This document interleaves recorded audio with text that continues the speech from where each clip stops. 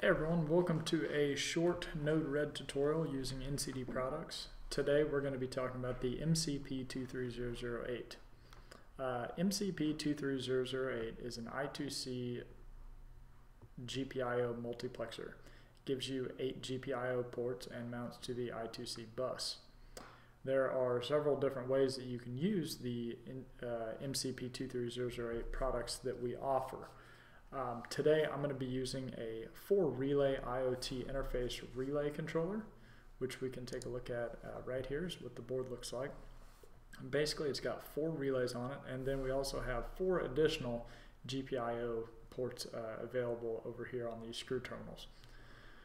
Uh, plugged into that board, I have a USB to I2C adapter, which is made to plug into the IoT interface port uh, right here. So basically what that do, does is that lets me plug this relay controller into the USB port of a computer. Now that computer could be a Windows computer, a Mac, a Linux computer, something like a Raspberry Pi, uh, you name it. Pretty much anything with a USB port that's capable of running uh, Node-RED. So the other way that you can do this is you can uh, you could plug in an I2C adapter and plug this directly into the I2C port of a Raspberry Pi. I'm not going to get into that, just know that that is possible. So uh, the first thing that we need to do is we need to install the MCP23008 module for Node-RED. Now right now, at the time that this article is written, um, the way that we do that is to manually install it through the terminal using npm. Um, I won't get into that too much, but npm is just an installer for Node-RED or for uh, Node.js modules. So we're just going to say npm install ncd. Oh, and also we need to make sure that we are in the uh, root directory where Node-RED is installed. So right now I'm in my user directory. Node-RED is installed in my user directory. So I'm going to do uh, change directory to node-red uh, there we're in the node-red directory and that's where you want to be at to install the modules. So now we'll just call uh, npm install uh, ncd-red-mcp23008.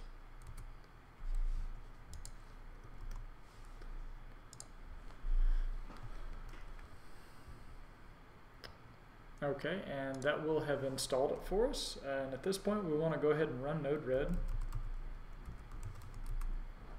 And you will need to have Node-RED installed. We have uh, accompanying uh, articles about installing Node-RED.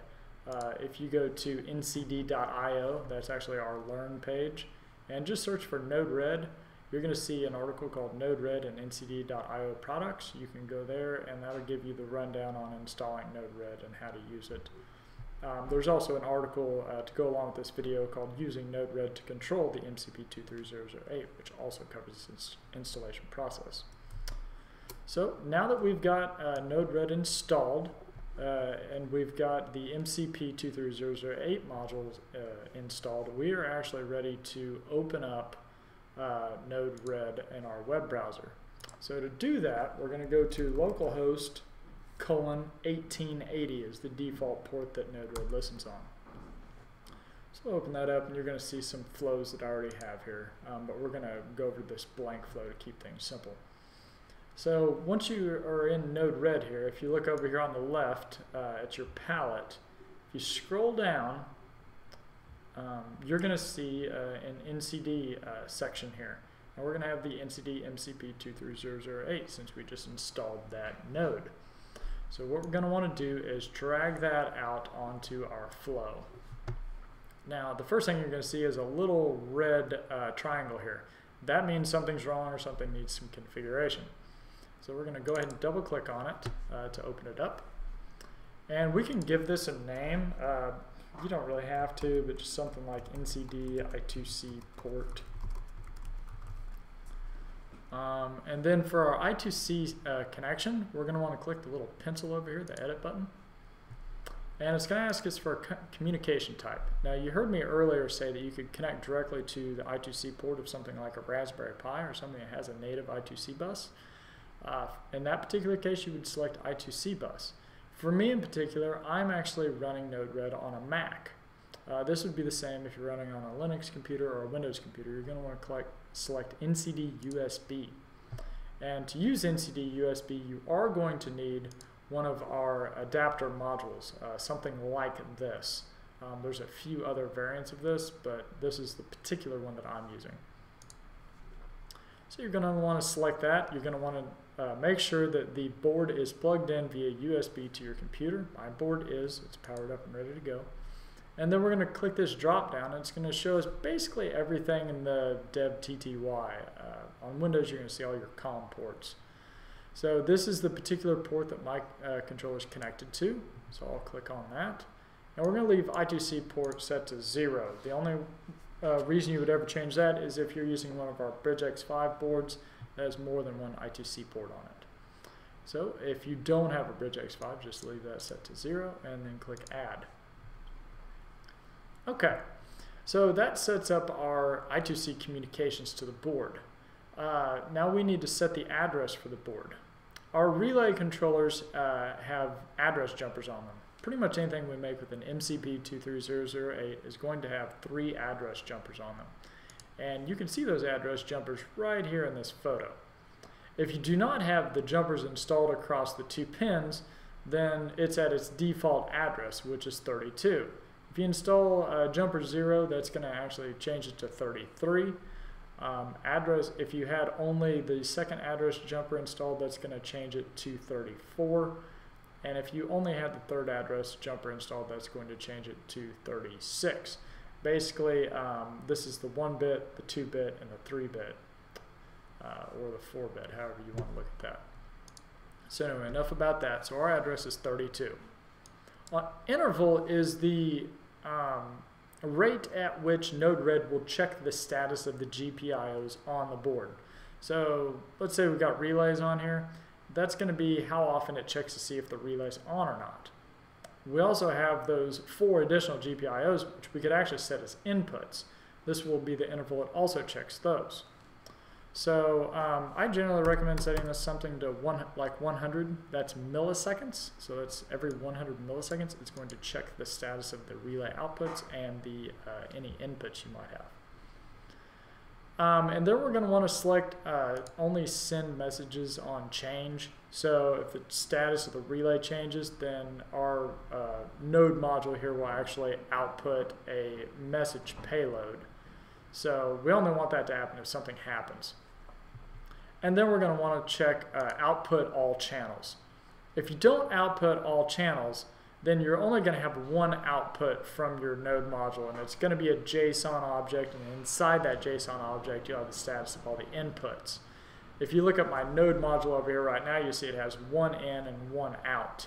Um, whenever I uh, update this, you're going to see this thing uh, jump in size, and I'm going to have actually have nine outputs over here.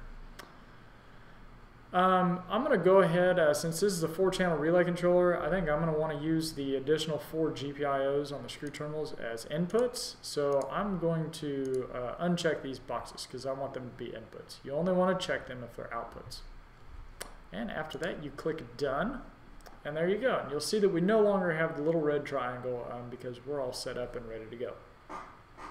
So let's keep this simple. Um, we want to turn on a relay. Okay. So pretty much the simplest way to do that is to use an inject module or node. Uh, so we'll drag that over here.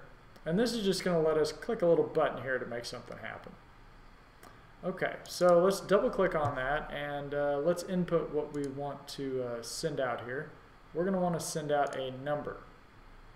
And we're going to want to send out a 1 because let's send out a 2. 2 toggles a relay.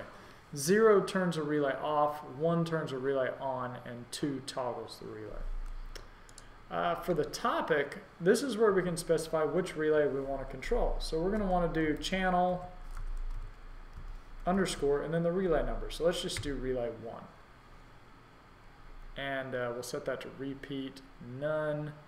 Um, and we'll give it a name of turn on relay 1 or toggle, I guess.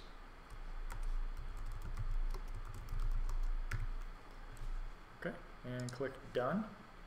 All right, and now all that we need to do is connect the dots here. Just drag from there to there. And that should do it. So we'll go ahead and click deploy. And, uh, well, you know, one other thing that we might go ahead and do here is throw up a debug. Um, I'm going to print out the, uh, the status whenever, um, whenever the relay turns on. So basically this, uh, this little dot right here, you see that's GPIO1, which is going to be relay 1 on my 4-channel relay board. We've also got relay GPIO2, 3, 4, all the way through 8 down here. And then we have our device status, which is going to be a JSON object with all that information inside of it. So what I've done here is I've uh, uh, connected the output status of GPIO1 to my, uh, to my debug log. And basically that's just going to print over here and debug whenever something happens.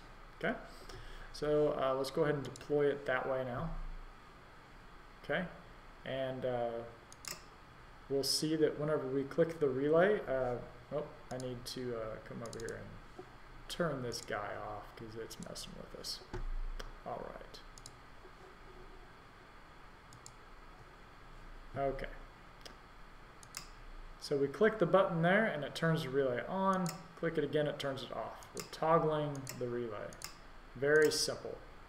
And you'll see over here in the debug log, we get uh, uh, outputs. So if I click this button to turn the relay on here, we'll see a 1 here, which is basically uh, just that the relay turned on.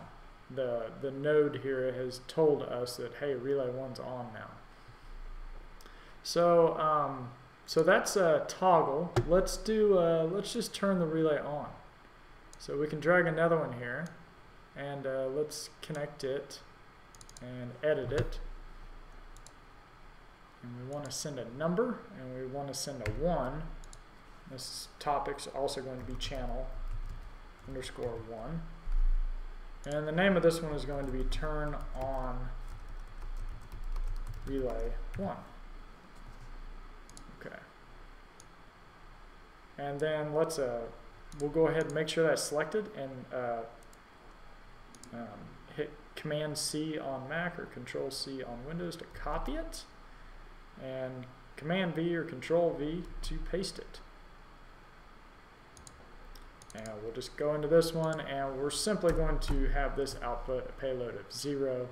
And we're going to change this to turn off relay one. And we will deploy. And now you'll see if we click the on here, we, uh, we turn on the relay, and if we click off, we turn off the relay. Off, on, on, off. Pretty simple. So if we look at this, see we're sending a payload of 2 from the toggle.